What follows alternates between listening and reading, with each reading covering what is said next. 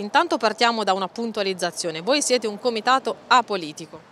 Assolutamente sì, siamo un comitato al cui interno ci sono persone di tutte le estrazioni politiche, quindi copriamo ampiamente tutto l'arco istituzionale. Il CASP, Comitato Aretino Stop Puzzo, lo scorso venerdì presso il Circolo di Chiani ha convocato la prima assemblea sul tema degli odori molesti che ormai da diversi mesi invadono alcune zone di Arezzo, Le Poggiola, Olmo, San Zeno e Via Romana. Quest'estate è stata molto dura perché a differenza degli anni precedenti ehm, quest'estate con 40 gradi siamo stati diciamo quasi tutti i giorni chiusi in casa. Persone poi che eh, sentendo questo puzzo mh, alcuni si sono sentiti anche male, hanno detto, eh, vomito, svenimenti. All'assemblea hanno partecipato oltre 250 persone per l'amministrazione comunale era presente solo il dottor Alessandro Forzoni, direttore dell'ufficio ambiente del comune, ma nessun assessore e nessun rappresentante della giunta Ghinelli. Avremmo preferito che ci fossero stati direttamente gli amministratori e soprattutto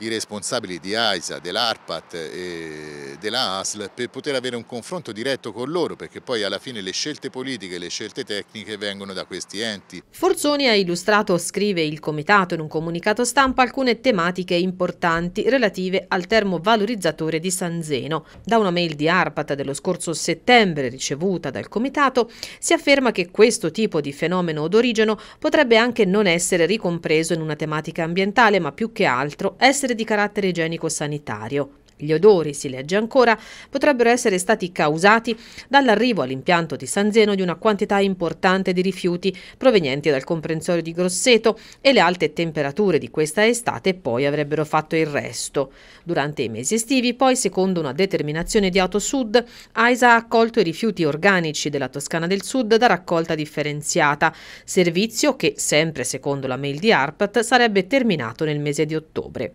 non siamo assolutamente né contro l'inceneritore, termovalorizzatore o quello che così come lo vogliamo chiamare adesso, non siamo contro gli impianti di compostaggio, però noi vogliamo che eh, l'operatività di questi impianti non rechino troppo danno, troppo disturbo a, a un territorio che purtroppo eh, è un territorio o per fortuna ampiamente eh, abitato. La battaglia del comitato comunque non si fermerà qui. Intanto all'orizzonte un incontro di una rappresentanza del comitato con il presidente di AISA Giacomo Cherici. Non so se sarà un incontro aperto insomma, a tutti i cittadini o solo a noi del comitato che in questo momento ci teniamo a rappresentare chi eh, sta, cioè che sta avendo questo problema, questo disagio e vediamo un po' quello che loro ci propongono e quello che ci verrà chiarito insomma, su questo disagio. Ecco. Perché non deve essere una cosa che come sempre finisce in tarallucce vino.